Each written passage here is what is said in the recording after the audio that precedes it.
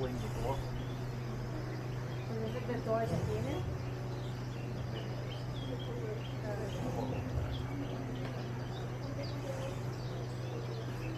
Design.